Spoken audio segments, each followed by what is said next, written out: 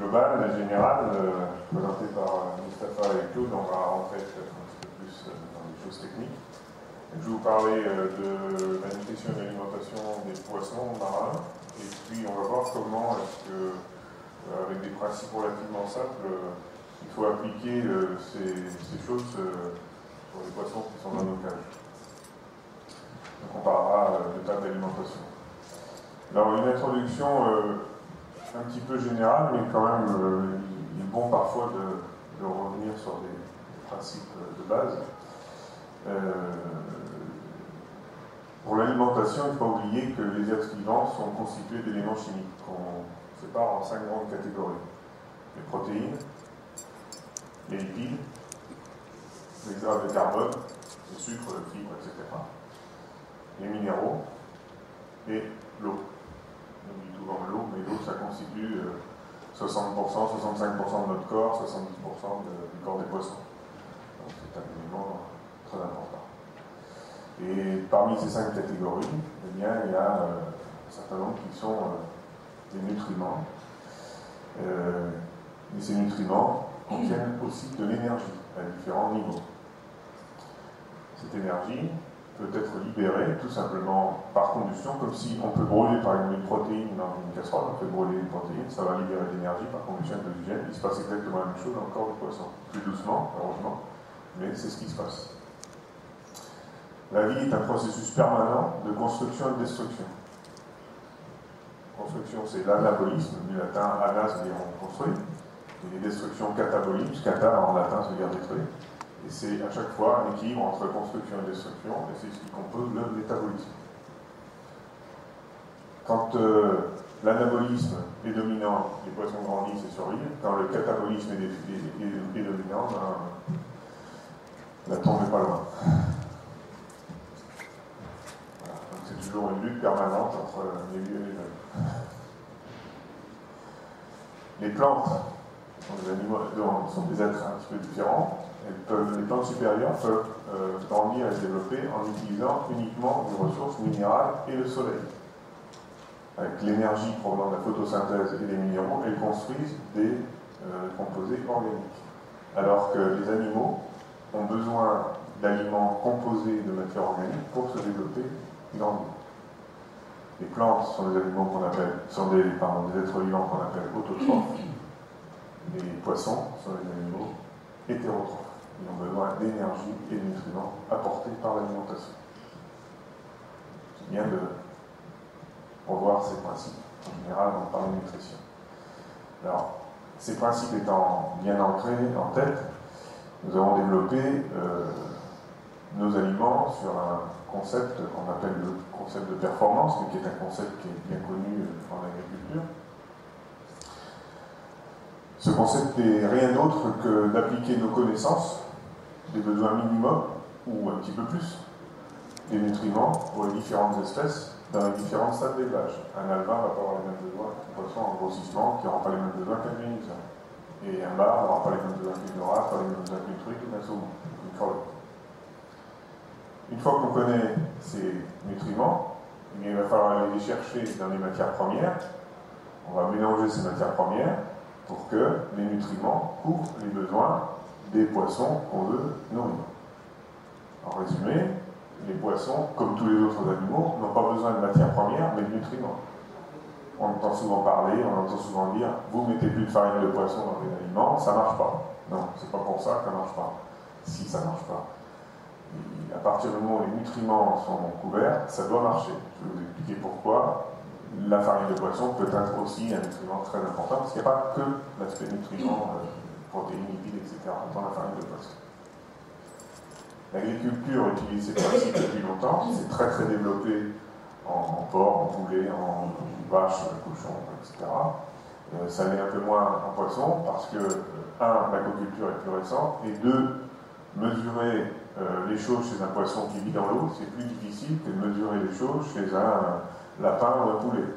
Pour faire une digestibilité d'un aliment, il faut mesurer euh, la différence entre ce qui rentre dans l'animal et ce qui en sort. Ce qui en sort, bon, c'est pas toujours euh, facile de, de collecter sur un animal terrestre, mais sur un poisson, c'est encore plus difficile. À partir du moment où vous avez dérogé le poisson vivant dans l'eau, tout ce qui sort du poisson va immédiatement sortir dans l'eau, et à partir du moment où ça touche l'eau, on va avoir des pertes. Mesurer euh, exactement ce qui est resté le poisson, comme les crottes des poissons qu'on doit récupérer pour faire une digestibilité, comme elles sont forcément dans l'eau, eh bien, on perd au passage euh, de l'information. C'est pour ça qu'en poisson, on parlera toujours de digestibilité apparente et pas digestibilité absolue, contrairement à ce qui se passe en porc, poulet, brebis et vaches. on va qualifier euh, la performance de l'aliment avec deux facteurs principaux. Le taux de croissance spécifique et l'indice de conversion. Mustafa vous a parlé tout à l'heure un peu de l'indice de conversion. Le taux de croissance spécifique est également très important. Si on a le temps tout à l'heure ou cet après-midi, je vous montrerai euh, comment, en comparant deux aliments, le, taux de croissance spécifique peut vous aider à calculer le, le vrai prix d'un aliment, le bon prix qu'il faut payer pour un aliment.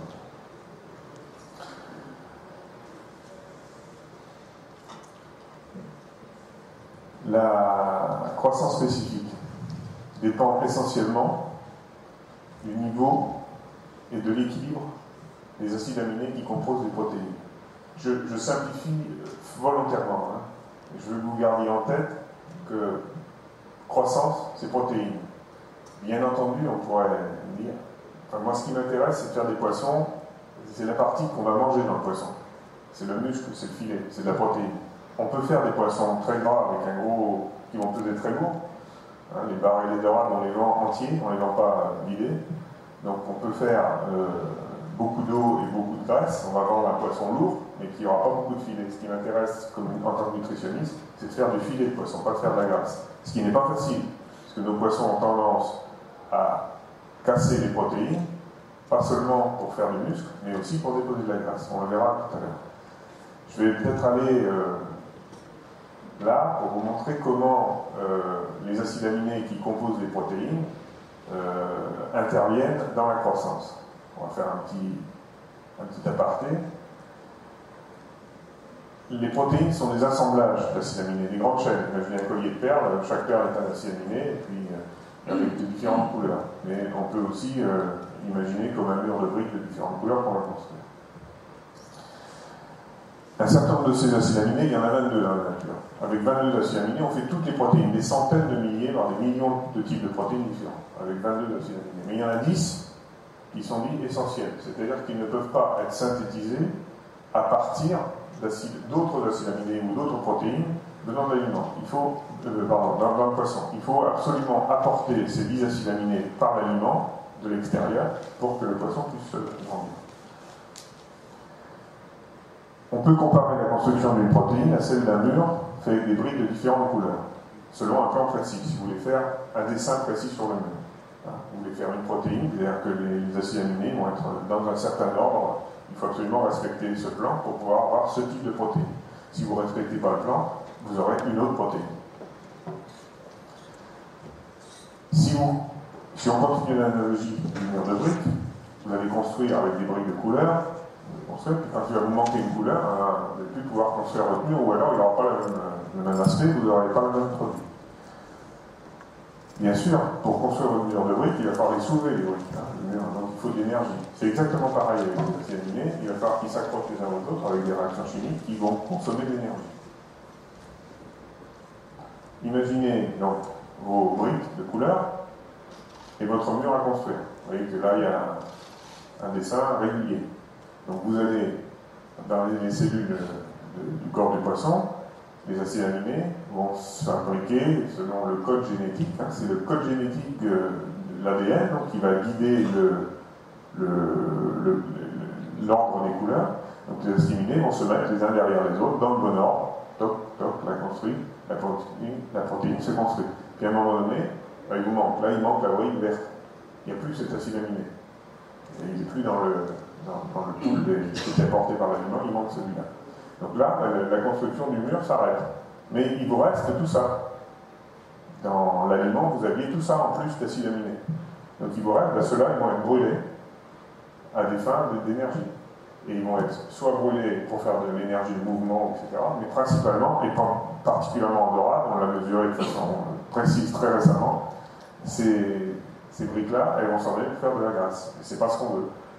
On peut facilement faire un aliment qui va être très riche, qui va couvrir tous les besoins d'acides aminés en débordant. Donc on va faire des poissons qui vont grandir vite, mais qui vont faire aussi beaucoup de tâches. Et on va faire un aliment très cher. Notre boulot, c'est de faire un aliment qui soit le plus juste possible en fonction de vos besoins. Si vous visez une croissance de ce type ou une croissance de ce type, le moins cher possible, car ne pas donner trop d'acides aminés, qu'il n'y en ait pas euh, qui débordent. Ça a aussi un avantage, c'est qu'on va beaucoup moins polluer l'eau parce que ces acides aminés contiennent de l'azote.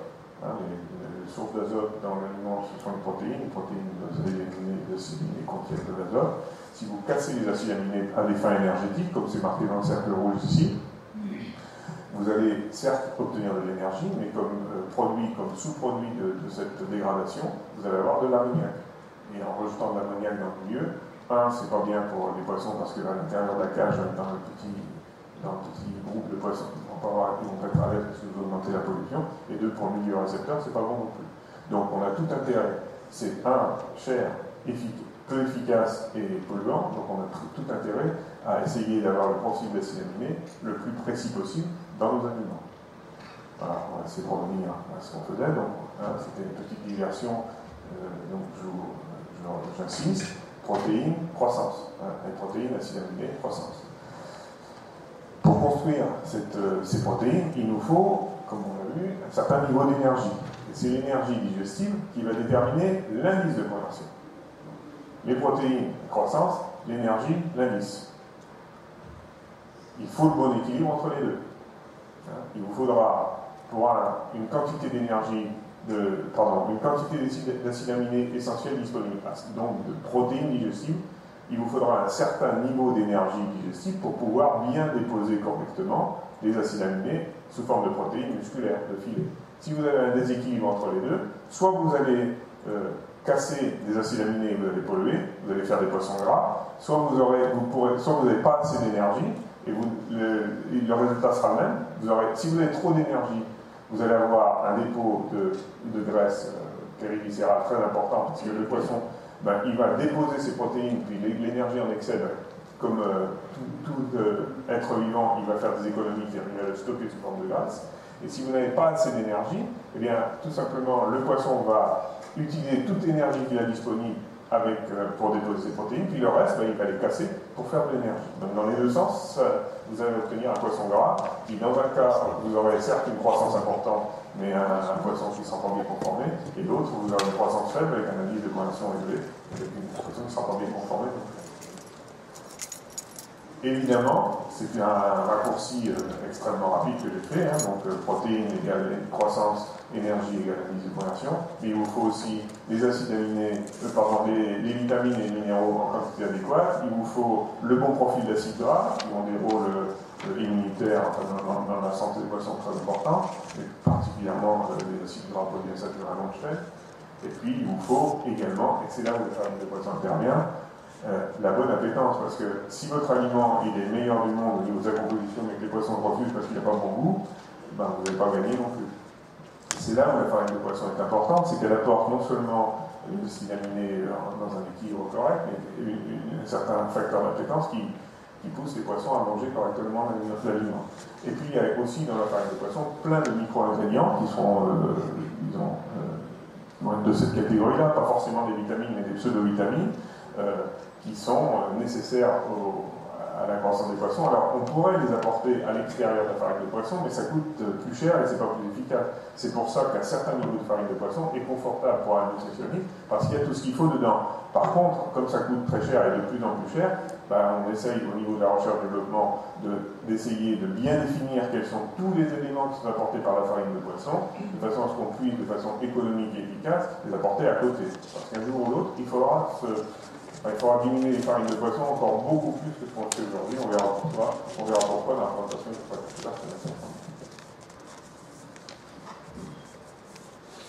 Qu'est-ce que ça veut dire tout ça pour l'aliment? Ben, Les acides aminés, euh, j'aurai différentes matières premières qui pourront apporter différents niveaux d'acides aminés disponibles. Donc des compositions, des combinaisons différentes de matières assureront la couverture des besoins, la même croissance potentielle. Le profil d'acide aminé global sera différent. Le premier acide aminé limitant, vous vous rappelez la barre verte tout à l'heure, c'était le premier acide aminé limitant. ben, il pourra être différent en fonction du mélange que, j'ai fait, mais la performance sera fixe. J'aurai couvert mon besoin d'acide aminé. Ceux qui restent, suivant les différents mélanges, je vais avoir, ceux qui restent en bas, vous vous souvenez des bruits, ils seront différents en fonction des différents mélanges, mais j'aurai construit mon mieux. En résumé, euh, vous allez avoir différents mélanges qui vont vous donner les mêmes performances. Donc vous allez avoir dans votre aliment différents niveaux de protéines brutes. Je ne parle pas de protéines digestives, de protéines brutes. Différents mélanges vont vous donner différents niveaux de protéines brutes. Mais moi, ce que je vis en tant que nutritionniste, c'est le même niveau de protéines digestibles. Pour ce qui concerne l'énergie digestible, pour assurer la croissance, il faudra assurer, il faudra apporter l'énergie. Alors, pour apporter l'énergie, chacun des nutriments apporte l'énergie les protéines en apportent, les lipides en apportent, et c'est surtout les lipides qui contiennent de l'énergie. Vous savez que manger un plat de frites, ça va vous caler plus rapidement euh, la faim que de manger de la salade. Eh ben, tout simplement parce que dans les lipides, euh, l'huile dans laquelle on a fait les frites, elle contient 39,5 mégajoules par kilo, c'est énorme. Hein. Les protéines en contiennent presque deux fois moins, et les, lipides, donc l'amidon, euh, quasiment un tiers. Je mets que l'amidon parce que, je dis les lipides, donc les hydrates de carbone, euh, je ne mets que l'amidon parce que je considère que les autres hydrates de carbone ne sont pas digestibles du tout. C'est une sécurité, disons. Les fibres, on considère, nous, chez Biomar, quand on calcule une énergie d'aliment, que seul l'amidon est contributeur en tant que euh, de carbone, contributeur à l'énergie. On considère que la digestibilité des fibres est de zéro. C'est un peu un raccourci, mais ça donne une sécurité. Si les fibres sont un peu digestibles, ça prendra plus d'énergie dans l'aliment, donc ça donne une sécurité. Donc, qu'est-ce qui se passait avant qu'on ait euh, développé notre, performance concept? Nous déclarions les valeurs fixes, protéines brutes et lipides bruts. Donc voilà, ça c'est la ligne droite. On, déclarait la valeur de protéines, admettons ici 44%, euh, et puis la valeur de lipides 26% ici, brut. Et puis à chaque fois qu'on avait euh, on achetait différentes matières premières, on avait différents contrats, il fallait qu'on refasse des mélanges différents. Donc on avait euh, l'énergie, la protéine digestible qui variait en fonction du niveau des, différentes matières premières qu'on avait Et puis euh, niveau des lipides digestibles aussi. Aujourd'hui, qu'est-ce qu'on fait? On utilise une énergie digestible fixe et un ratio protéines digestibles sur énergie digestible fixe. Dans ce cas, les protéines brutes peuvent varier, j'ai différents mélanges de matières premières en fonction du temps. Hein. Chaque trois mois, j'optimise les formules, ou chaque mois, si j'ai un contrat de, blé qui s'arrête et puis euh, j'ai un contrat de poids qui vient remplacer, ben, je fais différents mélanges, mais j'ai toujours, je fixe toujours dans mon logiciel de formulation, je lui dis, je veux ce niveau de protéines digestibles, et pas moins. Et je m'en fiche des protéines brutes, peu importe. Exactement la même chose pour les lipides, mais par contre, je fixe l'énergie digestive. Nos aliments comme ça. C'est pour ça que, en fonction des lots d'aliments que vous pouvez recevoir, ben, vous verrez que la déclaration de protéines lipides varie légèrement. Parce que c'est la loi. La loi m'impose de déclarer les protéines brutes et les lipides bruts, pas la protéine digestive et l'énergie digestive que vous trouverez dans nos fiches techniques cette fois-ci. Ça a été un petit peu difficile à mettre en place, parce que la tradition, c'était, ben, j'achète un aliment qui fait 45% de protéines, 20% de. Nous, on a changé, on est, bah, l'aliment, il fait entre 42 et 48, et puis en lipide, il fait entre 20 et 27, par exemple, ces chiffres-là.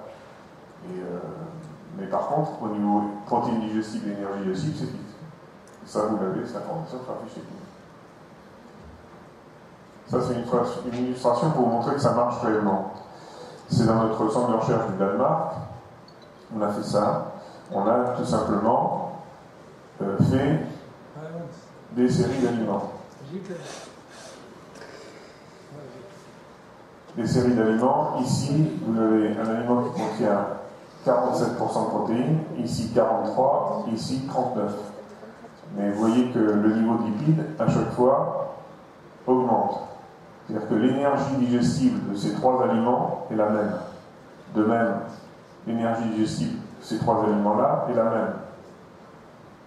Et la même chose pour cela.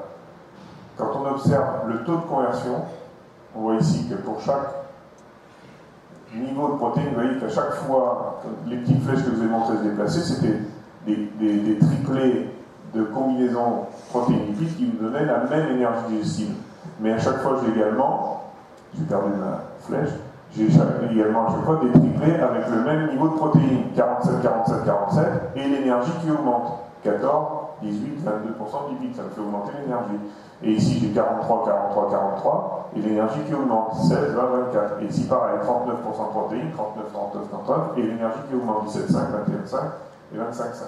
Et on voit très bien que ici, à chaque fois qu'on augmente l'énergie, on diminue le taux de conversion. C'est très clair. D'accord? On l'a fait là sur des barres de 30 à 125 grammes, et là c'est sur des barres de 140 à 275 grammes. Je ne vous ai pas sorti les courbes, on a la même chose sur la dorade, sur la truite, sur le saumon, on a dit de, ça marche comme ça pour tous les poissons carnivores. On l'a même fait sur les sturgeons, c'est un peu plus difficile à tester, mais sur tous les poissons carnivores, ça marche très bien comme ça.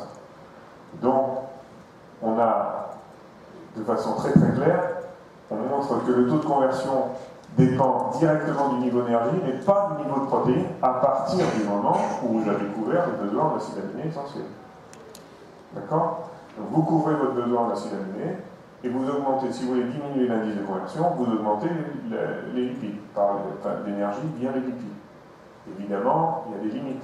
Hein, sinon, euh, on mettrait que de l'énergie, et puis euh, euh, il y a deux limites. Il y a un, la place que j'ai dans le garnier. Si j'ai 40% de protéines, je ne vais pas pouvoir mettre 50% ou 80% de lipides. C'est pas possible, ça rentre pas, ça fait, plus de 100%. Donc là, techniquement, il y a des limites. Puis il y a le poisson. En fonction des espèces, il y a certaines espèces qui vont accepter certains niveaux de lipides, et puis d'autres, par exemple des poissons euh, gras comme euh, la truite, le saumon, etc., on va pouvoir monter très haut en lipides, 30-35% de lipides. Chez la dorade et le bar, c'est beaucoup plus bas. Le, le bar va accepter très facilement 25-26% de lipides, la dorade, ça se passe et le maigre encore plus mal.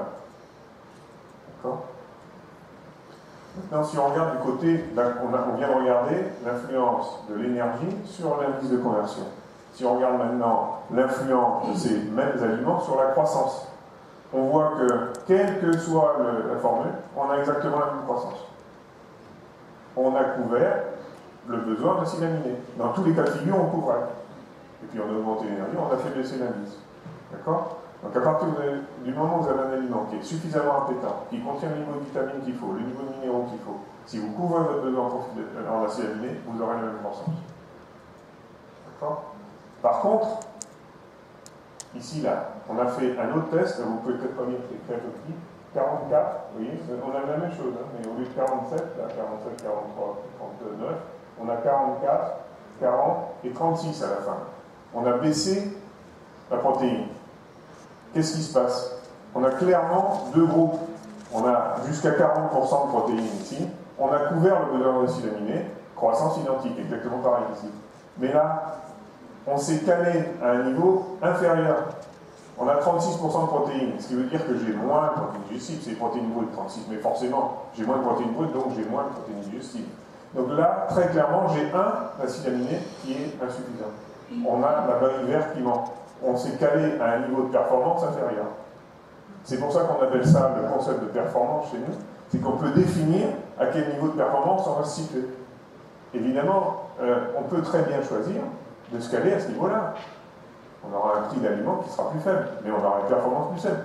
Ce qui est important, c'est de le faire en connaissance de cause, de choisir avec son client. Moi, je veux par exemple, j'ai des problèmes de financement aujourd'hui, il faut que je paye mon camion pas plus cher que ça. Ben, je vais choisir tel aliment. Même si c'est moins efficace au niveau global de. Quelquefois, la banque euh, est plus importante que le nutritionniste. Il faut faire ce choix en connaissance de tout. Et là, l'illustration, elle est absolument claire, et c'est sur, euh, sur le bas aussi. On a la même chose en oral. On vient de finir une thèse. Je n'ai pas pu rajouter les, graphiques parce que j'ai eu la réunion la semaine dernière, donc je n'ai pas eu le temps de le faire. On a, financé un thésard pendant trois ans qui a travaillé sur la dorade uniquement. Qu'est-ce qu'il a fait? Son travail consistait à marquer avec du carbone 13, c'est-à-dire un isotope euh, froid du carbone, marquer les lipides, les protéines et les hydrates de carbone, et nourrir le poisson avec ça, et regarder où les lipides de l'aliment allaient, dans quel composant, dans quel comportement, compartiment du corps, est-ce qu'il avait, est-ce que les protéines allaient dans les protéines, est-ce que les protéines allaient dans les lipides, parce que quand vous nourrissez le poisson par entrée de protéines, il va les casser au niveau du système digestif, puis ensuite ça va être reconstruit par le métabolisme, comme je vous l'ai dit tout à l'heure. Et la thèse consistait à regarder sur chacun des nutriments principaux, protéines, lipides, hydrates de carbone, où allait chacun des composants. Donc, euh, quand on refera un séminaire en Tunisie, j'espère l'année prochaine, je vous présenterai ces résultats, c'est passionnant. On, voit avec cette thèse-là, bon, ça d'abord c'est parfaitement illustré, ça marche parfaitement, mais on se rend compte aussi que chez l'adorale, les protéines, malheureusement c'est comme ça, l'adorale est comme ça, les protéines sont utilisées à 30% pour faire des lipides. On ne peut pas faire autrement. C'est pas, pas un champion du monde de la transformation, moins que le saumon. En résumé, les poissons, comme tous les vertébrés, ont besoin de nutriments et pas de matières premières, comme vous l'avez compris. Ce sont les matières premières qui apportent les nutriments. Les différents mélanges de matières peuvent couvrir les besoins en nutriments, bien sûr. Les protéines apportent les acides aminés, donc seront le facteur principal de la croissance musculaire, j'insiste musculaire. Hein. Euh, ça ne m'intéresse pas de faire des poissons qui soient des bases de glace, mais peut-être que vos clients, c'est ce qu'ils veulent. Et l'énergie de l'aliment assure le fonctionnement du métabolisme. ce sera toujours le premier besoin à couvrir. C'est-à-dire si vous avez un aliment très pauvre, le poisson va arrêter de grandir, mais il couvrira ses besoins d'énergie, toujours, pour survivre avec de l'énergie. Et ça sera le facteur déterminant de la de conversion.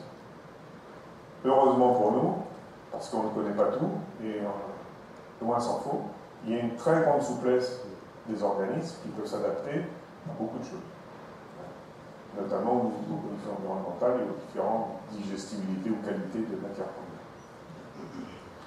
Mais à chaque fois que vous pourrez réduire le stress, à chaque fois que votre poisson sera en zone de confort, vous aurez une meilleure performance.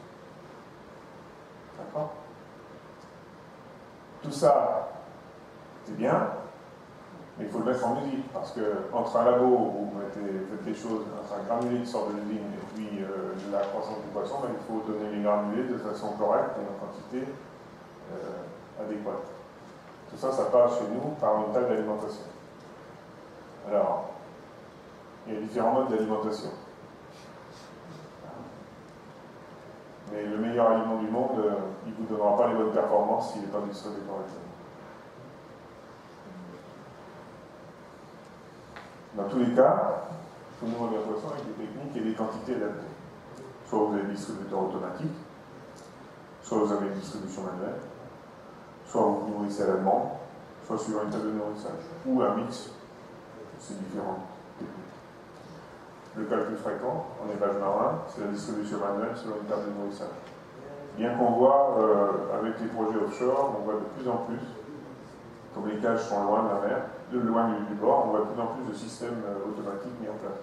En saumon, c'est quasiment la totalité, c'est des systèmes automatiques. En barre c'est plus compliqué, mais euh, on y viendra. Alors, une table de nourrissage. On va rentrer dans des choses, euh, je vais passer vite, il y a des équations, des choses comme ça. On va, essayer de faire, retenir les principes, pas, pas le détail. Mais bon, il faut bien aller parfois dans le détail pour comprendre les choses. Une table de nourrissage, ça consiste à indiquer combien de kilos d'aliments il faut donner euh, au poisson par jour. On l'exprime en kilos d'aliments pour 100 kg de poisson par jour, c'est en pourcent. Comme la vitesse de croissance des poissons et donc leur besoin alimentaire varie en fonction de la température de l'eau, du poids individuel des poissons, de l'énergie de l'aliment de l'espèce, les tables de nourrissage sont établies pour chaque type d'aliment, chaque catégorie de poids, donc chaque type d'aliment, son énergie, chaque catégorie de poids, donc la taille du granulé, chaque température et chaque espèce. Un exemple, le tas de nourrissage pour chez Bioma, vous avez ici le poids minimum, le poids maximum, c'est-à-dire la catégorie de poids du poisson à laquelle on va faire correspondre une taille de et puis on exprime en fonction de la température de l'eau le pourcent, le nombre de kilos d'aliments donné pour 100 kg de poisson par jour. Ici, par exemple, euh, table de nourrissage du euh, on va voir à 20 degrés, on va donner 2,6 euh, kg d'aliments pour les poissons qui sont entre, si je ne me trompe pas, entre 100 et 250 grammes. Alors, comment s'est établi ça? On va le voir. Mais d'abord, comment est-ce que je peux faire pour, pour faire une table de nourrissage Je ne sais pas si c'est pas évident. Hein. Les questions qui se posent quelle dose d'aliments je vais donner? Combien de nourrissage je vais faire par jour? quelle quantité d'aliments distribuer à chaque fois, à quelle vitesse, et quelle taille de gravier pour quelle taille de poisson? Alors, la dose. Là, ça, ça, devient un petit peu plus compliqué, mais bon, on va passer dessus.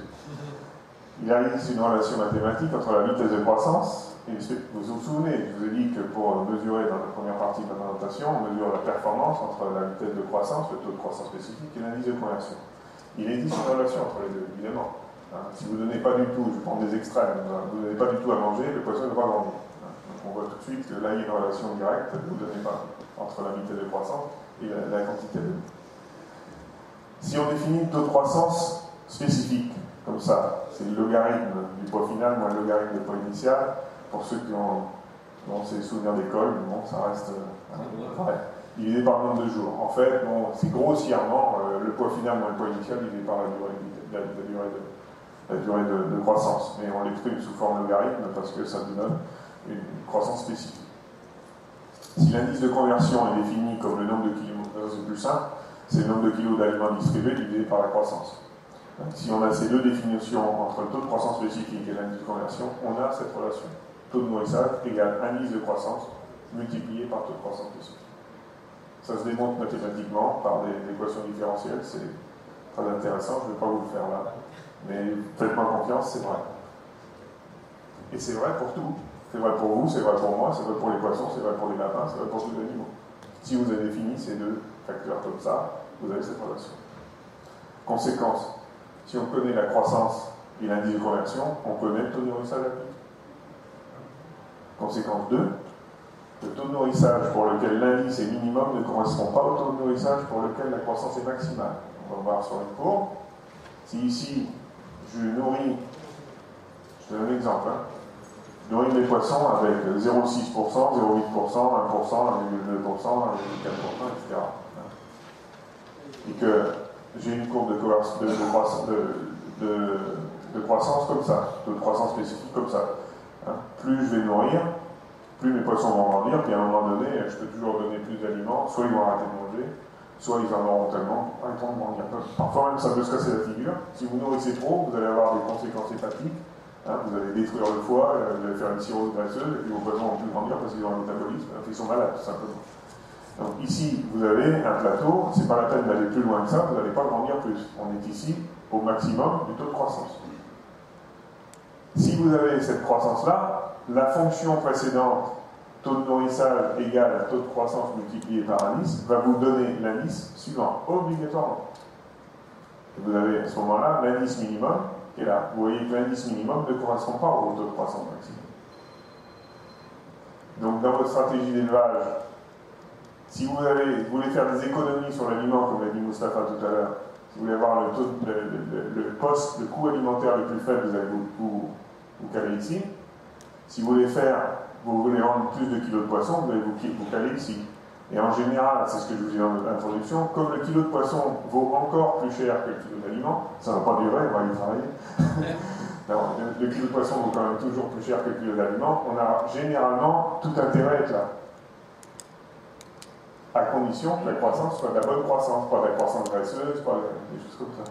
Nos tables de nourrissage sont calées à peu près là, entre les deux. J'assiste, nos tables de nourrissage, elles sont générales. On nourrit des poissons euh, à zut. J'ai appuyé, je ne pas. Nos tables de nourrissage, elles sont, on les distribue dans toute la Méditerranée, euh, de la Grèce à à l'Espagne, d'Égypte à l'Italie, etc. Donc c'est pas vrai partout. Il est indispensable de travailler avec l'agent euh, local, avec le technicien Guemard, pour adapter la table de nourrissage. En général, ça se passe bien, parce qu'on a une grande, grande souplesse des poissons, mais il y a sûrement moyen d'être plus pointu. Là, je sens que je vais avoir des demandes. On a développé un logiciel pour euh, faire les tables de nourrissage. Basé, ce logiciel est basé sur une équation de croissance. On va pas aller dans le détail. Cette équation de croissance, elle a été établie en 1978 par Arnaud Muller-Feuga, un chercheur de l'IFREMER, et je l'ai reprise, on a tout le temps un petit peu, en changeant un petit peu. J'aime bien les maths de temps en temps. Donc euh, cette équation de croissance, c'est une équation différentielle qui a un facteur euh, poids, un facteur thermique et un facteur énergie. Je ne vais pas vous en dire plus parce qu'on n'a pas le temps et puis c'est peut-être un petit peu trop long. Donc une équation de croissance et une équation de conversion. Puisqu'on a croissance multipliée à conversion égale taux de nourrissage, si j'ai les deux, j'ai ma table de nourrissage. Donc mon équation de conversion, taux de, croissance, taux de conversion, c'est une fonction euh, en puissance du poids du poisson et avec un ratio d'énergie, puisqu'on a vu tout à l'heure que plus l'énergie était importante dans l'aliment, plus le taux de conversion était faible. Donc il faut que, quand j'augmente l'énergie de l'aliment, il faut que mon taux de conversion diminue. Je rajouterai plus tard, dans une prochaine version, je rajouterai la, température, parce que le taux de, conversion varie avec la température. Pour l'instant, le modèle n'intègre pas. Il faudra le faire. Ce logiciel n'est pas disponible pour les clients. Il est disponible pour le support technique Biomar. Et si vous, avez si vous voulez faire des simulations de croissance ou des simulations de table de message, je veux de l'agent Biomar, vous contactez l'agent Biomar, il le fera. Je ne sais pas si on a le temps. Allez, on a. On va le regarder deux secondes.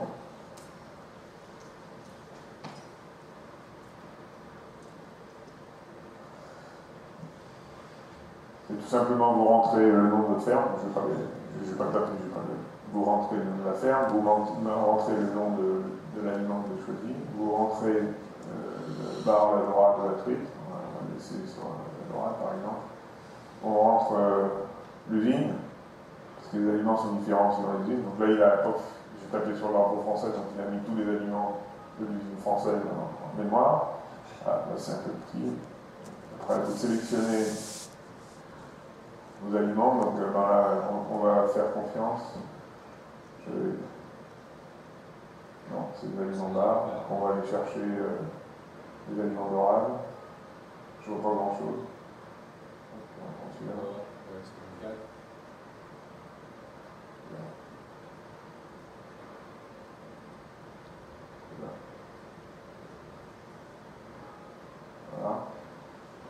confirmez que c'est bien un aliment biomar pas un aliment concurrent, mais on peut faire aussi des simulations d'aliments concurrents. C'est pour ça que ce n'est pas disponible pour les clients. Donc j'ai sélectionné mon programme d'alimentation.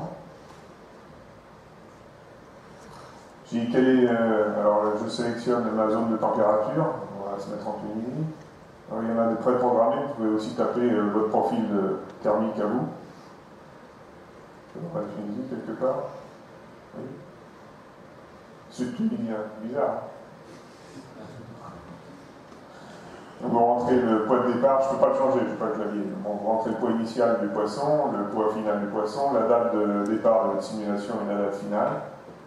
Et puis ben, ça vous donne, si vous, votre poisson mature, alors c'est fait pourquoi il y a la maturation? C'est parce que quand vous avez de la truite, si vous avez des truites triploïdes, il n'y a pas de maturation. Donc vous mettez non? Là, pour le bar et la dorade, vous mettez. Vous mettez euh, la date euh, à laquelle les poissons vont fondre, à peu près. Donc, 15 euh, février pour le sud tunisien sur les dorades, ça va pas être trop mauvais. Si vous avez un, si vous savez c'est un lot une queue de l'eau ou une tête de l'eau, un milieu de l'eau, vous allez changer ici. Et puis vous allez pouvoir le noyer plus ou moins puis corriger le taux, de, conversion. Je vous ai dit tout à l'heure que de la Grèce, de Chypre à l'Égypte, de l'Espagne à l'Italie, c'est pas forcément la même chose, donc il y a une possibilité de corriger. Vous allez obtenir une table qui vous donne la, croissance et l'indice. Vous avez votre poids de départ, l'assimilation enfin va arriver là. La connectivité. Euh, ça vous donne donc les croissances, les poids, l'indice de conversion. Et puis sous forme graphique, alors là c'est parce que je suis avec un projecteur, mais normalement ça apparaît sur une seule page. Et vous pouvez rentrer aussi ici des valeurs, si vous rentrez des valeurs euh, d'un batch que vous aviez avant, ça va vous tracer la courbe comparaison. Vous aurez un, comparatif entre le réel et le simulé. Ça vous donne aussi euh, la table de nourrissage. Et ça vous donne euh, la consommation d'aliments qu'il faut prévoir pour votre simulation. Donc là, dans ce cas, dans ce cas de figure, il faudra 27 tonnes de, 27 tonnes de 4,5 et 108 tonnes de 6,5.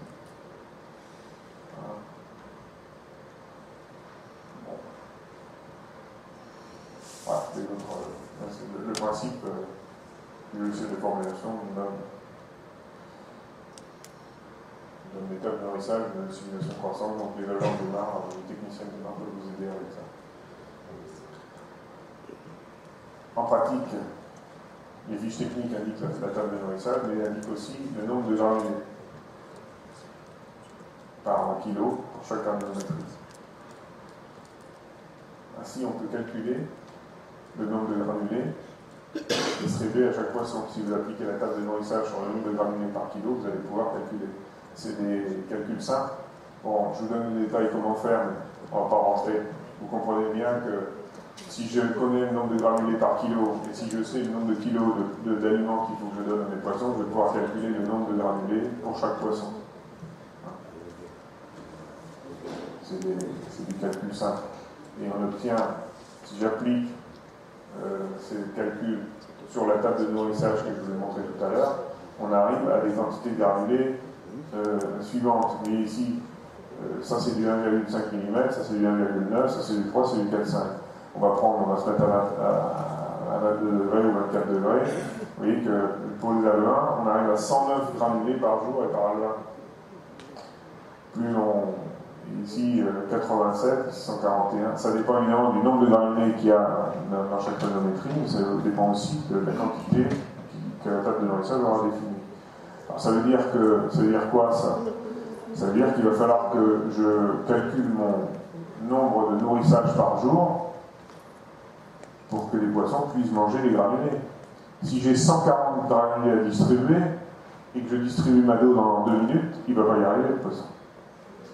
De même, euh, si je tombe, ça peut arriver, certains calculs sur les grands poissons, si je vois que j'ai 10 granulés par jour et par poisson, en hiver par exemple, la dose, vous voyez, 9, 9 granulés par jour et par poisson, soit il va falloir que je change à changer de granulés et mettre un granulé plus petit, soit de nourrir un jour sur deux. Sinon, tous mes poissons n'auront pas à manger. Parce qu'il y a des phénomènes de dominance très importants à l'intérieur des cages. Ça, c'est très théorique, mais normalement, tout éleveur sait que vous avez des dominants et dominés dans une cage. Et là, la table de nourrissage, quand vous allez, quand, en hiver, quand sous période de stress, vous allez donner des doses faibles, quand le, nombre de granulés sera suffisant pour les poissons, les dominants vont manger, les dominés ne vont, pas manger. Donc vous allez avoir des des poids moyens qui vont diverger dans votre cage et vous allez être embêté au niveau de la vente. On a mesuré les choses quand même. Pour des barres de 200 grammes, par exemple, à 20 degrés, et avec un poisson à jeun depuis 48 heures, on a calculé le nombre de granulés 4,5 trouvés dans l'estomac. Ça varie entre 40 et 90. Et la distribution d'aliments a été faite en 3 minutes. Donc ils sont capables de manger beaucoup, très vite. Si on compare ces chiffres avec le tableau précédent, on peut donc, pour un poisson de 200 grammes et du 4,5, en un seul repas, distribuer la dose. Plus le poisson est grand, plus c'est vrai. Mais avec des petits poissons, on va pouvoir, parce qu'il faut trop de granulés. Donc en, général, vous pourrez le faire, hein, c'est très facile à faire, ou alors avec l'aide de Moustapha. Vous allez calculer le nombre de repas euh, théoriques qu'il faut faire pour que ça se passe bien. 3 repas entre 5 et 50 grammes, 2 entre 50 et 200 grammes, un seul pour les poissons de plus de 200 grammes, voire un repas tous les deux jours en hiver, ou changer de granulos, ou mélanger les granulos au cours du passage d'une catégorie de poids à l'autre. Mais ça, ce sont les règles générales que je vous donne. C'est à chaque élevage, ça sert de guide. Vous pourrez faire ce calcul sur chaque élevage. Bon, j'ai parlé du côté aliment, mais il y a un phénomène, je vous ai dit, c'est le nombre de kilos, la table de nourrissage, c'est le nombre de kilos à donner par kilo de poisson. Si le kilo de poisson, dans vos cages, vous ne le connaissez pas bien ou s'il est faux, vous allez soit nourrir des poissons qui n'existent pas, soit pas nourrir des poissons qui existent. Dans tous les cas de figure, ça va très mal se passer au niveau de la démoration. Donc il est essentiel, essentiel de bien connaître la biomasse cages. Ça veut dire quoi? Ça veut dire faire les morts, ça veut dire faire les, poids moyens le plus régulièrement possible, c'est-à-dire éviter les échappées, etc. Bien connaître votre élevage. La réaction, c'est toujours, quand ça se passe mal, la réaction des éleveurs, c'est toujours, toujours, croyez-moi, c'est toujours, c'est l'aliment. Non, c'est pas l'aliment. Cherchez ailleurs d'abord. Cherchez chez vous, ça peut être l'aliment. Attention, je n'ai pas dit que ça ne peut pas être l'aliment. C'est très rarement l'aliment en premier, très rarement. maladie, stress, un trou dans le filet. euh. Il ne faut pas distribuer, pardon. On fera les, une question. Une question, on fera ça, on discutera ça Il faut toujours veiller à ce que le poisson soit actif pendant la distribution. Quand il commence à ralentir, ben, vous, vous le pied. Euh, mais il faut, euh, faut former les, les gars qui sont sur les cages, il faut bien, bien, bien. Et moi, je ne peux pas la. Il faut expliquer ça dans la langue des gars avec des codes couleurs s'ils ne sont pas forcément. euh, des choses simples, des choses simples pour faire des économies importantes. Les gars, le- le- la personne. Moustapha, vous avez dit tout à l'heure, entre les aliments et l'aliment, 60. Combien c'était? Ouais, 75% du coût. Le gars qui est sur la cage, c'est le gars le plus important de votre euh, entreprise. S'il distribue mal d'aliments, euh, vous avez tout perdu.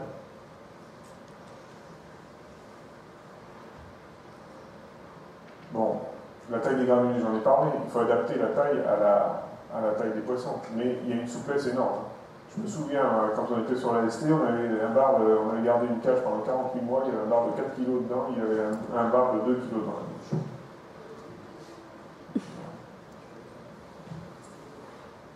Et euh, on aura toujours, euh, vous vous souvenez, hein, euh, 90 granulés à l'estomac au bout de 3 minutes.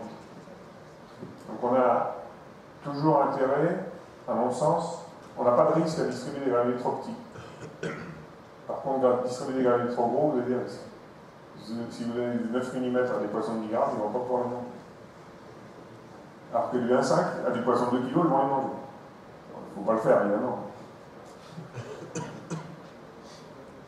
Donc, c'est très simple hein, ce que je dis, mais c'est granulés plus petits en hiver, pas forcément, mais c'est une mesure qu'on peut prendre.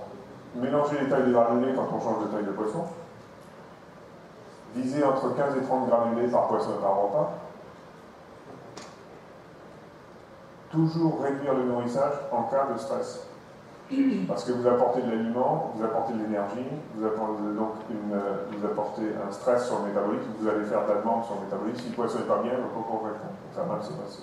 Levez le pied, pas d'oxygène, vous levez le pied, maladie, vous levez le pied, mouvement euh, de cage, etc.. Moins de nourrissage. Je ne devrais pas vous dire ça, ça fait moins d'aliments vendus.